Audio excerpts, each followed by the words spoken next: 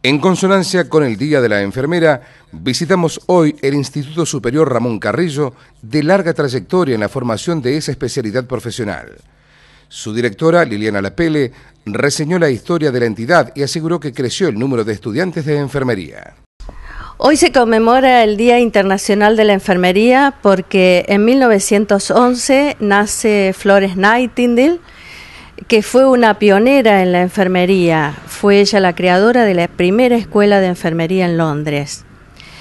Nosotros en este día agasajamos y reunimos a los egresados que cumplen 25 años con la profesión de enfermería. Desde el año 1974, la escuela Ramón Carrillo viene formando enfermeros profesionales. Quiero destacar que la enfermería aporta diariamente al desarrollo y a la salud de la población con una práctica en busca de eficiencia, brindando seguridad en cuidados de calidad y libres de riesgos, con conocimiento y responsabilidad. Desde la comunidad educativa del Instituto Superior Dr. Ramón Carrillo, mandamos un saludo a todos los enfermeros.